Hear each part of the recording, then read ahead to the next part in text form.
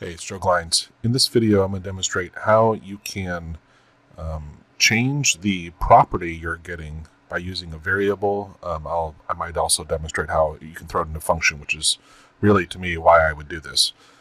Uh, so in this example here, I use my little iWB2 learner tool to come down here and on my page, get my, um, so I'm getting it by ID, right? So it's get element by ID.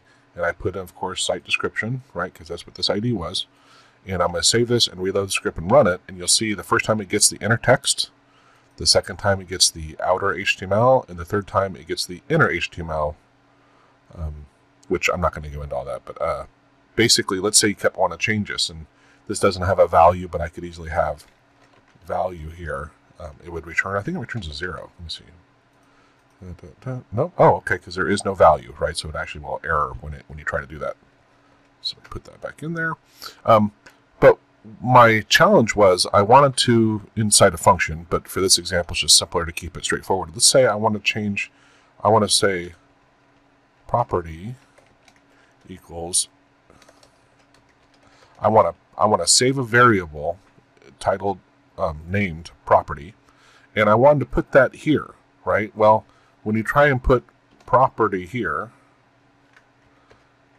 comment out these for now, it um it's going to error out. And I tried a lot of different things of well, what if I put it you know this way?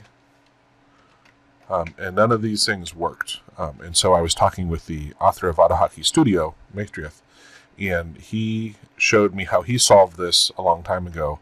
Um, and it, it's not straightforward of like what you'd have to do. Basically, what you have to do is first create um, a variable that leads up to it. And so we'll call this um, ID fair. It doesn't it doesn't matter, of course.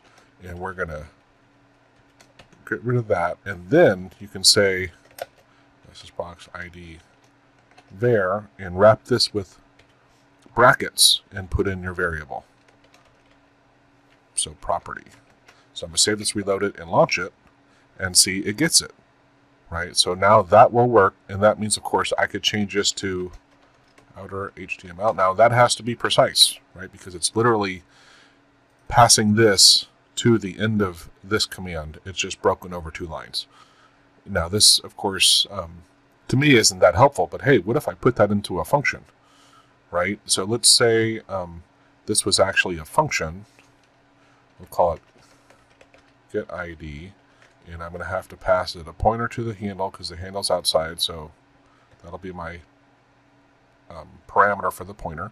And then um, I, I, could, yeah, let's pass it the ID uh, because that would change, of course. And then I want the property, right? And now I, I need to turn this thing into a function. Where's my other curly brace? And let's see, so I got that there. I need to change this, so this will be the, the parameter of ID right? I'm going to dynamically be passing that to it. And then um, I use that for property. This, uh, I need to change my pointer to be using the, the one that gets passed to it.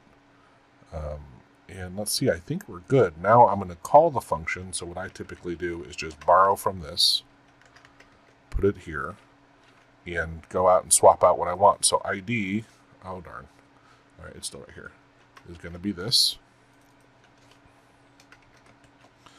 And, and this, of course, is actually what's above is PWB.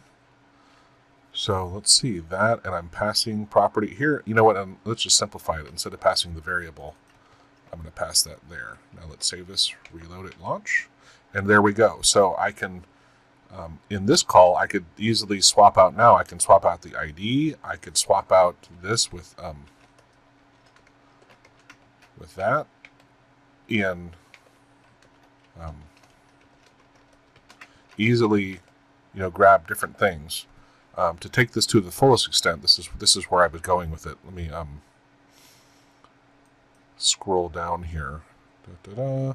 So this is what, and um, let me bring it. I'm going to copy it and paste it up above here. Um, this is what I ended up doing with it. It was just too complicated to me. I didn't want to confuse anyone with uh, with doing it this way. But what I'm doing is I've I'm passing the um, the a pointer to the uh, the page to get a handle to the IE existence. I pass what I want, which is class or ID or um, so I created an ob- um, a methods object in here so I can get ID, I can get class, I can get tag, I can get name. Um, and when I pass any of those things, which to me are intuitive that I can remember that, it will dynamically swap out the get elements by ID or get elements by class name or by tag name. Um, and then for ID, because ID is not plural, uh, I had and, and, it would have a an array, right? So when it's when it's ID, it's going to do this one, right? So this is when it's not ID, it'll do the first one. Otherwise, it'll do this one. Uh, but this allows me now, or and and I also put in here for the.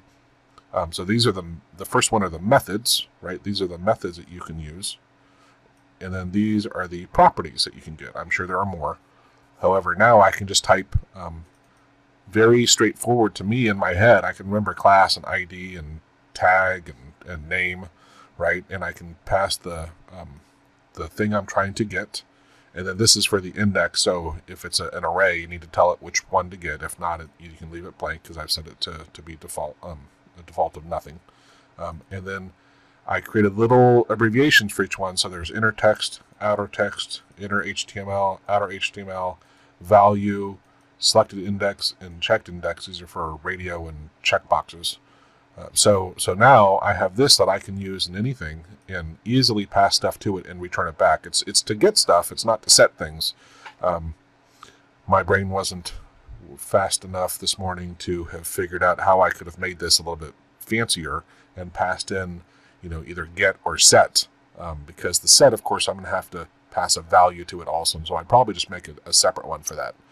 Uh, anyway, I hope that helps. It, it's um, this general approach again. Uh, Maestri has solved it for me, but it, I think it's really awesome because any COM object, right, you can now break it down and pass a variable and make it much more dynamic, right? So in, in mine, I'm passing it as a parameter into inside a function. Uh, just a quick, easy way. Let me see if this will run. I, I, I ran it on my site earlier. Oh, 103. What is 103? Let me just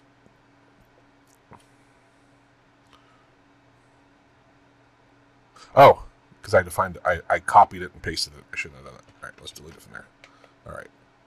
So I'll come back up here. I'm going to run it.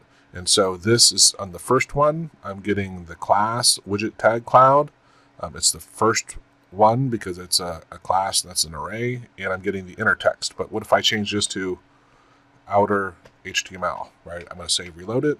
Now it gets the HTML. Um, or if I got the um, inner HTML, right? So I can very easily swap out what I'm trying to get um, just by changing a couple things, or I could I could change the this is for class. Of course, that's the other thing that always confused me is when you're when you're doing using this tool on your web page, and let's see if I can grab that um, class with the tag cloud here to, to give a good example here. So see how it says class here in your code in the HTML on the page, it'll say class. However, when you call it in AutoHotkey, it's class name. And so that always, it was just one of those things until I got used to it. It confused me. But doing it this way, I can say just class, and I don't have to remember that um, little divergence. All right. Hope you enjoyed. Thank you. And thank you.